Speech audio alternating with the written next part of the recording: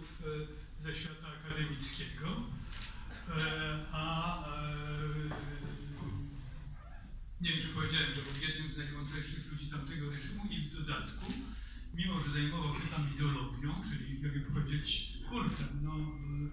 liturgią, to odprawiał tę liturgię wprawnie, ale bez wiary. I to